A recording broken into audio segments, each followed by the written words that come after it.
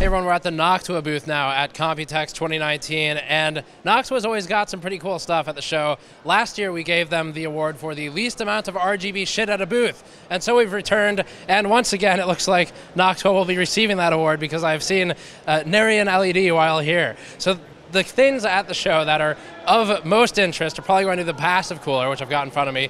There's an NHD15 uh, sort of, I mean, I don't want to say refresh because that downplays it, but there's a new NHD15, let's call it that. And that's the big cooler that's probably iconic and you likely recognize. The A, uh, A series fan now in 140 millimeters has gotten some updates, so we have a prototype on that to talk through, and then there's just some cool testing setups behind me that I'll mention as well. Before that, this video is brought to you by the Gigabyte Z390 Aorus Master motherboard, which comes equipped with one of the more powerful Z390 VRMs for heavier overclocks on the new 9th gen Intel CPUs. The Aorus Master is also one of the few motherboards with a real heatsink this generation, featuring a mix of high surface area fins and looks-oriented cover blocks. Oh, and it's also got updated RGB illumination. Learn more at the link below. Let's start with the passive cooler. So in front of me, this passive cooler set up in the system next to me, uh, there are actually no fans in this right now. In fact, they've even gotten a bit cheeky with it, and it says caution, service may be hot, uh, because there's zero fans. This can be set up obviously with a fan if you wanted to. There's another test they did with a fan. Wow, that actually is genuinely pretty hot. Uh, it, it is radiating quite a bit out the top. But um, the cooler, so there's no name for it yet. It's just fanless cooler right now. We'll have a name later. Uh, the target for release date's pretty far out, so this is an early prototype. Noctua is still doing a lot of tweaking on it, but you'll notice in B-roll that the fins are actually spaced pretty far apart. This is intentional. When you don't have a fan with some sort of static pressure to force air through it, uh, through the fin stack that is, you do end up with a, a worse scenario for passive cooling. So what you want is a bit of space between each of the fins and the fin stack. The fin density is lower, and that's so that natural convection can take its course, and you're relying on just physics at that point. So pretty simple, rather than forcing all the air through with a fan and doing it uh, sort of semi-manually. So this one right now, it's set up running about 120 watt load with a 9900K, and could run higher with uh, a fan in the back. So I think we heard about 180 watts with a fan, just like a top mounted exhaust fan or something. But 120 watt 9900K uh, is, is really not bad for a passive cooling solution. For the prototype in front of me, this one has 1.5 millimeter thick aluminum fins. Uh, so one, aluminum because weight and heavy, and you don't want to rip the socket out of the board, and two, uh, copper at some point doesn't really uh, do a whole lot for you in, in ways that are meaningful versus the price. But there is still copper cold plates, nickel plated, uh, copper heat pipes, nickel plated. Those are sintered, and it is using a, a, pretty widely spaced fin stack. What might change is all of these specs. So it's a prototype. First half of 2020 means that anything I've just said is, is uh, subject to change based on Noctua's in-house testing.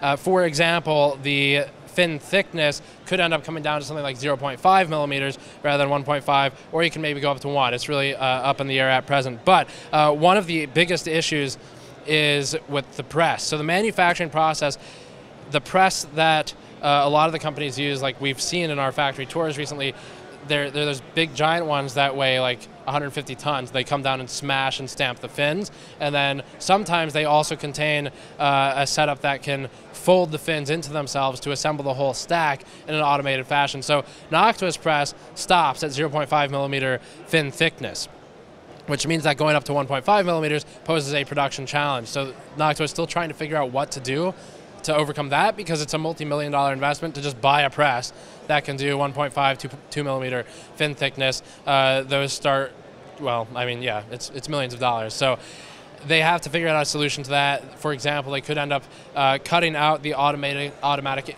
interlocking of the fins and go with a manual assembly approach. That would do it, but um, that's still all up in the air. And I think that covers most of it. So the price target is totally TBD. Noctua would like to see it below $100, but uh, we're not going to hold them to that until we see, you know, how they overcome the manufacturing difficulties. For size, it's about the same size as an, an HD15. So it's a 165 millimeter tall cooler from the socket, and then the rest is, is roughly the same as the D15. I think that covers the passive one. Beyond the passive cooler, which is just a cool tech demo. Uh, I guess we'll talk about the NHD15 updates next. There's a couple of them behind me, but this one is the TR4 version, which you can tell by looking at the cold plate.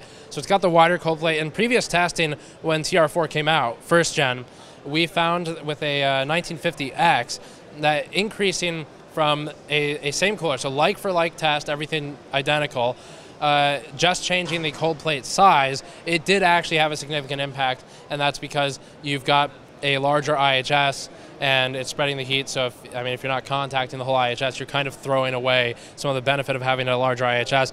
The differences for this one versus previously the fin density is the same, fin pitch is the same. Uh, heat pipes, they've gone up to seven from six.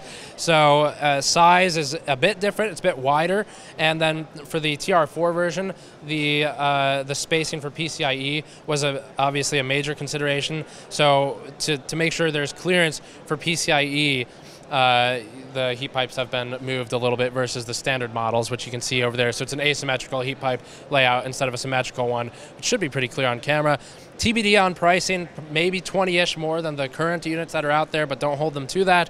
And then there's some production level improvements as well. So uh, improvements to the heat pipe that weren't really specified. They're still sintered though. And then uh, I think there's a demo behind me running a TR4 system with a 2990WX 32 core CPU. It's at 440 watts. All that really matters is the amount of heat that's generated, not the frequency, because the goal is cooling it. So for the demo, 440 watts, it is still running. So it's at about an 87 degree T die right now and uh, just running Prime 95 torturously on end in poor test conditions because, I mean, it's against a wall in a convention center that's kind of warm. So uh, not bad. But that's the TR4, or the, the cooler anyway, the NHD15. And I think the last, there's a couple fans I'll just point out quickly, we'll show B-roll of. So there's going to be some white fans coming. Uh, the black fans are getting finalized for the A series 120 millimeter cooler, and then the black heat sinks that Noctua has shown a few times now are getting finalized as well. Apparently, there's some production challenges with cleaning the solder off, the, the residue of the solder, and then uh, getting the powder coating on. So that's being finalized still.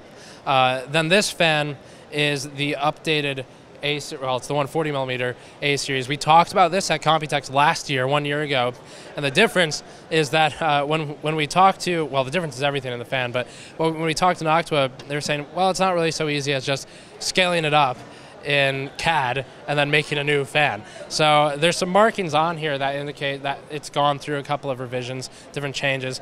Things can change, like uh, how many blades you have, the thickness of the blades, the sweep of the blade, where the blade starts to sweep down the hub, uh, how close the blade is to the outer side of it, the design on the top of the blades, uh, lots, lots and lots of things can change. So that's in prototyping. They're just kind of showing it off to tell you that it is eventually going to happen, and Noctua could probably make it today, but does want to push a bit more uh, on the performance side to get a meaningful improvement. So we'll keep you updated on when that happens. I think that covers the Noctua booth. Thank you for watching. As always, you can subscribe for more, or you can go to store.gamersnexus.net to help us out directly, and patreon.com slash gamersnexus to help us out there as well. I don't have any awards with me this time, unfortunately, because they're too heavy, but if I had one, I would give one to Noctua for still having the least amount of RGB shit at a booth. I'll see you all next time.